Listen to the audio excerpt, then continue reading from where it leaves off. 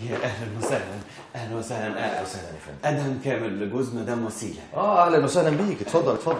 أنا أنا في الحقيقة جاي عشان خاطر أعتذر لحضرتك وأتأسف لك كتير جدا على اللي حصل يوم ما حضرتك جيت يعني في في, في عند أستاذ نبيل يعني وطريقة معاملة أهل وسيلة مع حضرتك ووسيلة نفسها طريقتها ما كانتش لطيفة. ولا يهمك. حصل خير. بقى حضرتك جوز وسيلة. آه لا ومش جوزها بس. ده ده دي يعني حب العمر بقى وأنا حبها الأول وقصة كده ليها تفاصيلها ما يعني. شاء الله ما شاء الله ما شاء الله. ما دام كده بقى أكيد لازم تحبي لها الخير ولا إيه؟ آه طبعا بحب لها الخير دي مراتي. وبعدين أنا لما بحب لهاش الخير كنت احتفظت بالكارت بتاع حضرتك. أصل أنا احتفظت بيه عشان خاطر لما عاوز أجي لحضرتك أجي يعني وأستفسر عن موضوع الثروة ده وشوية تفاصيل عنه كده يعني. الموضوع بكل بساطة زي ما قلت لكم. في مليونير اسمه قاصد خير. باع لزوجتك وسيلة نبيل شرف كل أمواله وممتلكاته وخص بالتلت لامها سامية. آه طب بالنسبة لموضوع الثروة دي هو اداها الوسيلة آه، ورث ولا بيع وشراء؟ لا لا ده بيع وشراء ملوش دعوة بالورث خالص. الثروة دي بقت من نصيب مراتك ومن حقها تستلمها. لا هتستلمها. يعني هي من جهة تستلمها تستلمها آه، يعني بس بس هو الموضوع زي ما تقول حضرتك كده محتاج شوية ترتيب عشان خاطر نعرف نقنعها. نقنعها؟ نقنعها بثروة عمرها ما كانت تحلم بيها؟ أنا آسف يعني في كلامي بس. لا آسفك معاك يا أخويا آسفك معاك. إيه؟ آه، بس هتعمل إيه بقى؟ ما هو في ناس زي ما بيقولوا كده فقرية ما بيقدروش النعمة اللي ربنا بيديها لهم. بس أنت شكلك فاهم ومقدر. صوابعك مش زي بعضيها. ما أصل أنا مؤمن بحاجة إن الفرصة ما بتجيش في العمر إلا مرة واحدة. عشان كده الواحد لازم يستغلها. وناوي تعمل إيه؟ ابدا. هقف جنب مراتي عشان خاطر تستلم فلوسها وتستلم الثروة بتاعتها. أمال إيه؟ بس آه، أنا محتاج مساعدتك. وليك الحلاوة. يا سيدي طالما كل واحد هياخد نصيبه وهنرجع الحق لاصحابه وأنا تحت أمرك. الله عليك. الله عليك يا أستاذ فايق بس هم من جهة أصحابه فهم أصحابه فعلا. بس هم مش عارفين مصلحتهم. أنا بقى هعرفهم. وحشتني آه عدد نجوم من السماء ياسين وحشتني آه عدد كلام الغنى ياسين وحشتني آه وحشتيني. وحشتيني. وحشتيني. نعم. إيه نعم يا حبيبتي دي اللي توقف الماء في المواسير. إيه إيه نعم إيه بقول لك وحشتيني بحبك. إيه المشكلة يعني؟ أيوه ما إحنا كل يوم بنفترق ونرجع نتجمع تاني إيه الجديد يعني. يا ستي صحيت النهارده لقيتني بحبك زيادة وحشاني حبتين. وبعدين أصل جوزك ده راجل حسيس ما بيحبش يعني يدوشك بمشاعره كتير. بجد يا أدهم؟ مم؟ طبعا بجد. يا وسيلة أنا بحبك. وأنا جوزك اللي حسك وعارف إن اليومين دول بالذات أنت محتاجاني ولازم نقف جنب بعض. ربنا يخليك ليا يا حبيبي. مم. تسلم إيدك. مم. مفيش جديد؟ جديد في إيه يعني الراجل المجنون المحامي ده كلمك تاني؟ أي حاجة في السكة دي يعني؟ لا. من يوم ما طردناه ما أعرفش عنه حاجة. ومش عايزه اعرف أصلا. الله في داهية. ده راجل نحس ونكد يبوظ لنا الليلة. مم.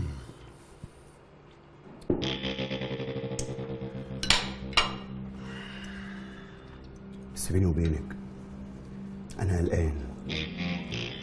وفي فرصة حلوة قد كده بيلعب في قلبي إزاي يعني؟ مش عارف. حاسس إن اسمه اسمه اسمه قاص قاصد. قاصد. قاصد خير ده. مش عارف شكله شمال كده وكل شغله شمال. بما ان اسمك جه في ورق يخصه. ممكن حد يبقى بينصب لك خية ولا عايز يورطك ولا أي حاجة في السكة دي يعني. خيط إيه؟ أنا ناقصة. دي بس إيه؟ ده الموضوع ما يتاخدش قفش كده. الموضوع محتاج إن إحنا نفكر فيه بالراحة عشان نعرف نفهمه. أنا رأيي إن إحنا نروح للمحامي ده. اهدي كده؟ ما تبرقيش استهدي بالله. إحنا نروح للمحامي ونحاول نشتري منه على قد ما نقدر. يمكن نفهم منه حاجة يقع بكلمة كده ولا كده. وفي الآخر نقوم ماضيين على تنازل وناخد نسخة من التنازل ده ونديله النسخة التانية. ونقول له انه لو جاب اسمك في أي حاجة هنرفع عليه قضية تعويض تفتكر؟ طبعا أفتكر كده. يا وسيلة يا حبيبتي الناس اليومين دول ما بقاش ليهم أمان. كله بيرمي بلاوي على بعضه. وأنا بما اني جوزك لازم احميكي. لازم اشيلك في عينيا كمان. ماشي. نعمل كده. هايل هايل تسلم إيدك.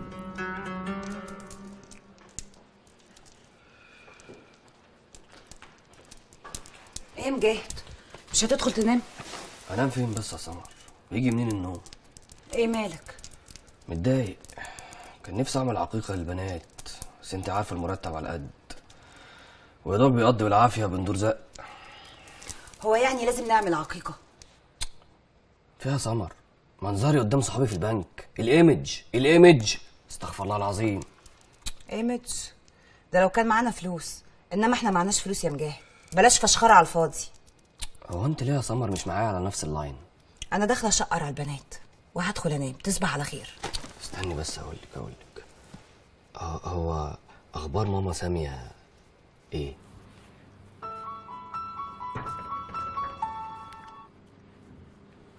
ألو. أيوه أنا وسيلة. مين معايا؟ أنا فايق غالب المحامي يا وسيلة هانم.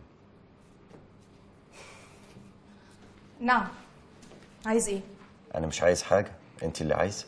أنا مش عايزة حاجة غير إنك تبعد عني بأم ثروتك دي. على فكرة دي ثروتك أنت. وأنا مجرد وسيط كل مهمتي إني اسلمها لك. أستلم ثروة معرفش صاحبها ولا أصلها. ما هو أنت لو اديتيني الفرصة أنا هقدم لك كل الأوراق اللي بتثبت كل مصادرها. قلت لك مش عايزة حاجة يا أخي وبالعافية.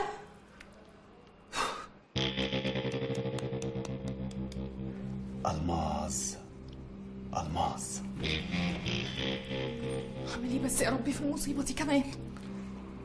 الباقي عليك بقى. تعالي اقعدي هنا جنبي عايزاك. تعالي. نعم. تعالي يا حبيبتي. خدي لك الحتتين دول تسلي في تطبيقهم. يلا. يلا سلي نفسك. إيه يا سوى حبيبتي. إيه؟ هو إيه المشكلة اللي حصلت في بيت عمتك يوم عيد ميلاد وسيلة؟ مشكلة إيه يا ماما؟ مفيش مشكلة ولا حاجة. يا بنت ما تخبيش عليا يا بنت ده أنا أمك كاتمه اسرارك يا ماما مفيش حاجة ولو في حاجة انت عارفاني مش هخبي عليكي وهقولك على طول. يا بنت أنا سمعتك كنت بتكلمي أحمد في التليفون وحسيت ان في مشكلة يوم عيد الميلاد. يا بنت احكي لي إيه التفاصيل يا بنت؟ انت بتستنطي عليا في التليفون يا ماما وأنا بتكلم مع خطيبي؟ آه بتصنط. وإيه المشكلة يعني؟ يا بنت احكي لي يا بنت إيه اللي حصل في التفاصيل يا بنت بالظبط بتاعت المشكلة يا بنت. احكي. طب أنا هقولك على كل حاجة يا ماما بس توعديني اوعي تجيبي سيرة لحد وخصوصا بابا بعد ما يرجع من السفر. أوعدك يا بنت تشك في لساني لو حد عرف حاجة. احكي بس احكي إيه اللي حصل إيه اللي حصل. طيب هحكي لك. وإحنا في عيد ميلاد وسيلة جه واحد ما نعرفوش كده اسمه فايق المحامي. ومعاه وصية من واحد اسمه قاصد. أيوه هو قاصد ده. بيقول إن قاصد ده بقى ساب كل فلوسه بعد ما مات لوسيلة وعمتي سامية. وبيقول كمان إن وسيلة تبقى بنته. بتقولي اسمه قاصد. أيوه قاصد. أنت تعرفيه يا ماما؟ ها؟ لا لا هعرفه منين؟ ده, ده حتى اسمه غريب قوي. إيه قاصد دي؟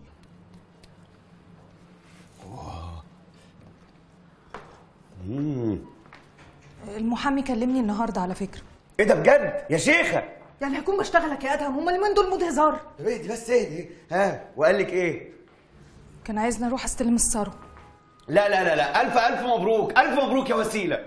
وانت قلت له إيه؟ ها؟ قفلت السكة في وشه طبعا. إيه ده يا وسيلة؟ الله. امال فين اللي إحنا اتفقنا عليه؟ ما عارفه بقى يا أدهم. ما قدرتش. كنت متغاظه منه قوي. حاساه زي ما يكون جاي يعريني ويديني الثمن هو من جهة هيعرينا فهو هيعرينا. آه طبعا. الله لو ما عرفناش تفاصيل الحكاية وامنا نفسنا من شره. أنا عارفه بقى. هو ده اللي حصل. ملحوقة.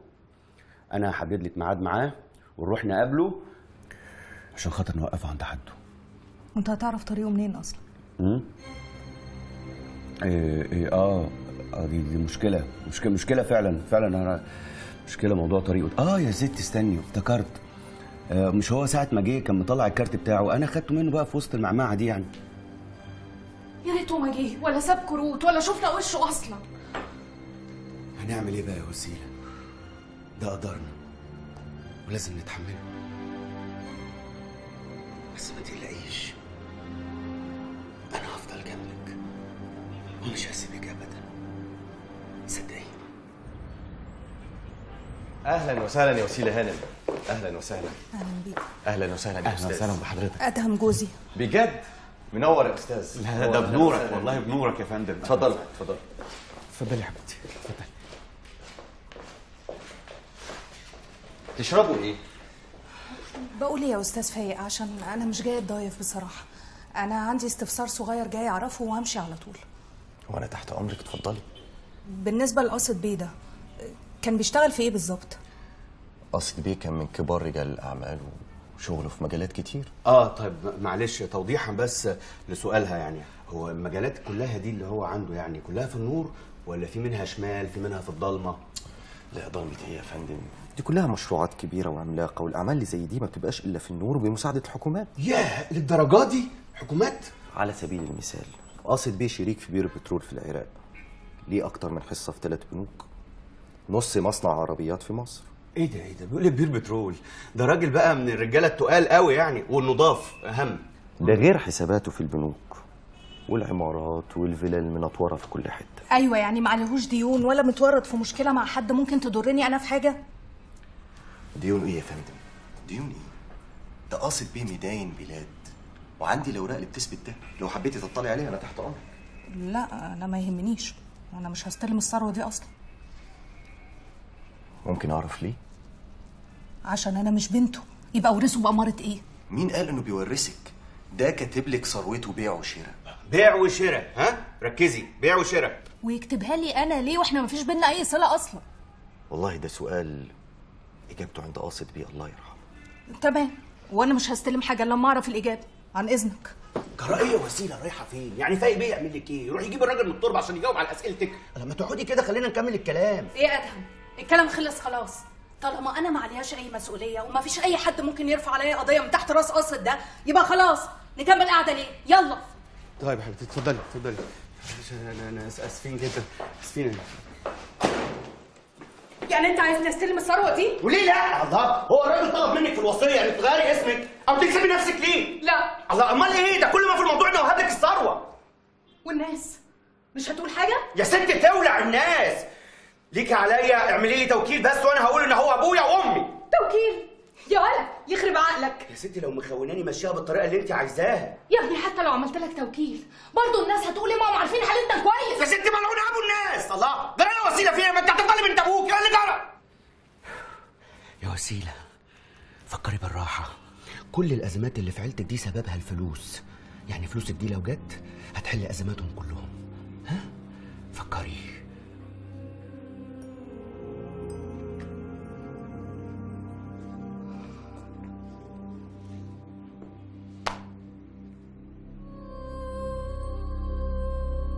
لا يا أدم مش هينفع.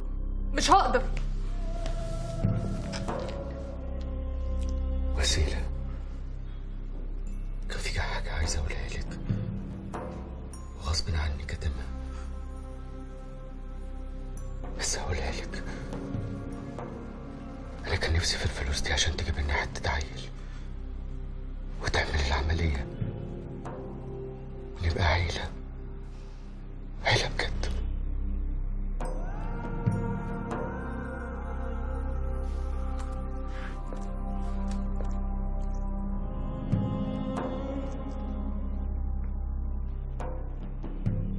وانت عاملة إيه بقى يا وسيلة يا بنتي؟ الحمد لله يا بابا. كويس انك جيت يا أدهم عشان أوضح لك سوء التفاهم اللي حصل. تسلم إيدك يا ست الكل. لا هو من جهة في سوء تفاهم هو فعلا في سوء تفاهم. عشان كده أنا خدت وسيلة ورحنا للمحامي. ليه بقى؟ عشان نفهم أكتر.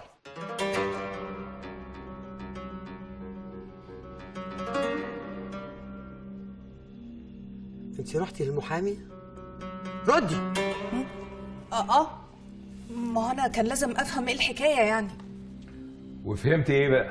أنا أقول لحضرتك بقى أنكل قاصد كان كاتب لوسيلة الثروة كلها بيع وشراء مش ورث زي ما إحنا كنا فاهمين. ودي تفرق في إيه بقى إن شاء الله؟ لا تفرق كتير يا أبو حميد. ده معناه إن وسيلة بنت بابا نبيل وبنت ماما سامية حتى لو راحت استلمت الثروة. الله لازم أيوه. اتفضل. وتستلمها بأي حق بقى يا سيادة. بحق إن الراجل كتب لها الثروة كلها بيع وشراء. يا سلام. وعمل كده ليه إن شاء الله؟ والله حضرتك بقى ما تعرفيش ممكن يكون حس إنه غلط في حقكم فحب على آخر ايامه يصلح غلطته دي أو يعمل خير حاجة يعني في السكة دي. حلو قوي الكلام ده. طب ليه بقى قاصد؟ ما وزعش علينا بقية الثروة. ما هو أنا إيه وأنتوا إيه يا تيكو يعني؟ واحد طبعا يا حبيبتي. مش كده ولا إيه؟ كده إيه؟ واحد في عينك أنت وهي. ماما. أنا متأكدة إن أنا بنتكم. دي ما فيهاش شك يعني. زي ما أنا متأكدة إن قصة خير ده مجنون رسمي. دي مفروغ منها برضو. والمجنون ده كتب لنا الثروة كلها. نرفصها. قصدي يعني يعني يعني نرفض النعمة. يا سلام. بص يا بابا أنا فكرت كتير في الموضوع ده. لقيت إن عندنا مشاكل كتير قوي حلها الفلوس يعني مثلا أنا نفسي أعمل عملية وأخلف. أحمد ينفذ مشروعه. طارق نفسه يأمن مستقبله. سمر عندها بنتين عايزين يتربوا. فلو الفلوس هي اللي هتحل لنا كل مشاكلنا يعني كعيلة أنا ما عنديش مانع أضحي. في إيه؟ تضحي؟ تضحي بيه إن شاء الله. أستلم الثروة وأفرجها علينا كلنا بقى. انت انت يا وسيلة اللي بتتكلمي كده وانت اللي اعقل واحدة فيهم. يا ماما فهميني. راسي ولا كلمة. انت عارفة كده بتعملي إيه؟ عارفة ولا مش عارفة؟ انت كده بتضحي بسمعتي وشرفي. ممكن ما تفهمينيش غلط؟ غلط. فعلا أنا كنت فاهماكي غلط بس دلوقتي بس عرفتك صح. يا ستي فهميني بس. يا ماما وسيلة ما تقصدش حاجة. أيوه قولوا. قولوا كده. عايزين تحلوا أزماتكم على حساب سمعتي وشرفي. يا ماما ساميه صدقيني ما حدش هيعرف حاجة. أقسم لك. اسكت ولا كلمة أنت بالذات. حاجة ما تخصكش. بس الحق مش عليك. الحق على مراتك اللي هي بنتي. ساكتة ليه؟ كلامكوا ده إذا كان بيدل على حاجة فبيدل على أخلاق واطية. عمري ما كنت أتصور إنها موجودة فيكم. يا بابا. أنت اسكتي خالص. واضح إن أنا ما عرفتش أربيكي. لكن ملحوقة. أنا برضه هربيكي. بس بعد ما أثبت لك بالدليل إن أنا أبوكي وساعتها بقى نقطع عرق الموضوع ده ونسيح دمه. يا بابا ما أنا عارفة إنك أبويا من غير حاجة. إيه لازمته الكلام ده دلوقتي بس؟ انت سبب في الكلام ده؟ واعملي حسابك. بكرة الصبح هاخدك واعمل لك تحليل الدي إن إيه. عشان أثبت لك إن أنا أبوكي. وإن الست دي ست شريفة عمرها ما غلطت. لا.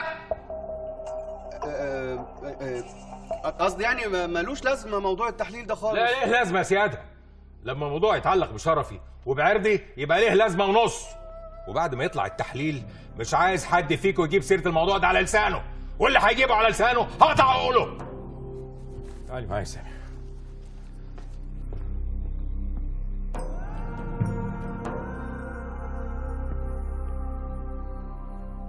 أنا لازم أتصرف بأي شكل. إن شاء الله ابيع هدومي. المهم إن إحنا نخرج من المهزلة اللي إحنا فيها دي. هتصرف منين بس يا نبيل؟ ده إحنا يا دوب بنغطي مصاريف البيت. ده ده غير المصاريف اللي بنساعد بيها الولاد كل أول شهر. والله ما أنا عارف. أنا حاسس إن في برج من دماغي هيطير. مش عارف ألاقيها منين ولا منين.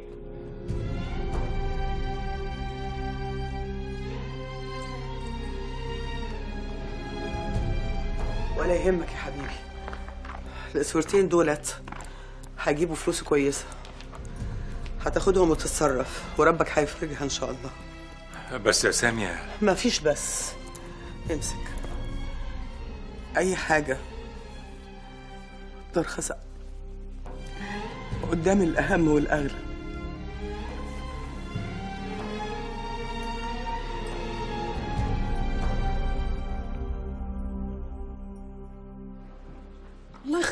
يا آدم. كله منك. يا وسيله سيبيني في حالي بقى. وبعدين أنا الاقيها منك ولا منهم؟ أنا مش عارفة إزاي طوعتك واتكلمت معاهم في حاجة زي دي. يا ستي ما أنا قلت لك نكفي على خبر مجبور واعملي لنا توكيل. بقول لك إيه؟ انسى. أنا خلاص.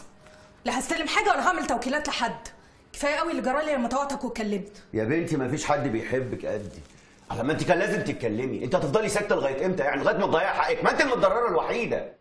ما أنا مش هخسر أهلي عشان فلوس يعني. يا ست هو حد قالك تخسريهم ولا هم يخسروكي؟ نصيحة مني بلاش تروحي تعملي التحاليل مع أبوكي. اللي أنت بتقوله ده يا آدم. ما ينفعش طبعا. لازم أسمع كلامه وأروح معاه. يا حبيبتي أنت لو رحتي عملتي معاه التحاليل ساعتها هيحصل لنا مشاكل في استلام الثروة. مشاكل إيه يعني؟ انت ليه متخيلة ان قاصد ده ما وراهوش حد بينخور ورانا عشان خاطر يشكك في الوصية؟ وده لو حصل هيلهى في الثروة كلها. يلهفها أنا مش عايزاها أصلا الثروة دي. يو يا وسيلة كل ما نتقدم خطوه ترجعينا عشرة لورا انتهينا يا آدم. بكرة الصبح أنا هروح أعمل التحليل ده عشان تطلع نتيجته ونخلص خالص بقى.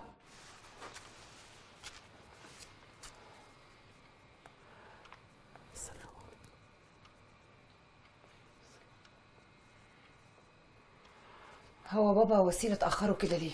العلم عند ربنا. أنا أعصابي تعبت قوي من نتيجة التحاليل دي.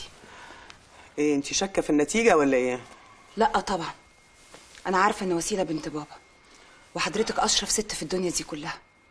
بس يعني بس إيه؟ الانتظار وحش قوي حتى لو متأكدين من النتيجة. ده بالنسبة لكم. بالنسبة لي أنا مطمنة على الآخر.